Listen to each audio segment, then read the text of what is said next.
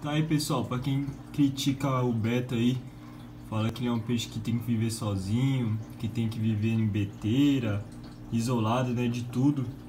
Aí ó, peixe beta junto com paulistinhas, né, um cardume de paulistinhas. Tem um plati aqui também ó, plati não, ele é uma espadinha né, uma fêmea aí.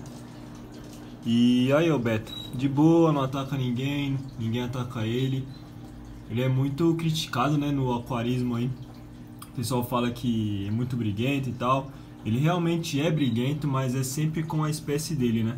Ele é briguento com outros beta, beta fêmea, beta macho, né? Então, ali espécie de beta, ele é bem briguento mesmo, né? Ele é muito territorialista, ele domina muito o ambiente onde ele tá, né?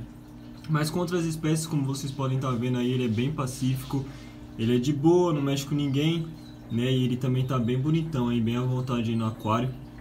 E aqui eu pretendo colocar mais peixes, tá? Pretendo colocar mais paulistinha, um cardominho um pouquinho maior de paulistinha, ouro. Pretendo colocar o colisa de novo, tá? E sempre encher aí mais o aquário aí, tá bem vaziozão. Né? Então é isso, pessoal. Tá aí o beta de boa, um beta amarelo. De boa aí no aquário. E é isso. Se inscreve no canal, deixa o like e até o próximo vídeo, pessoal.